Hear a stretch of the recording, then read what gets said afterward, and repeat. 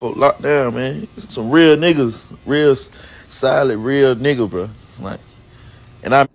So he basically saying like, look at all the other people that's actually just stayed in jail and pretty much did their time and didn't say anything just to get out early or anything like that. They just pretty much went ahead and fought it in the court and pretty much had the right lawyers to go ahead and get them out of jail, et cetera, et cetera, that way.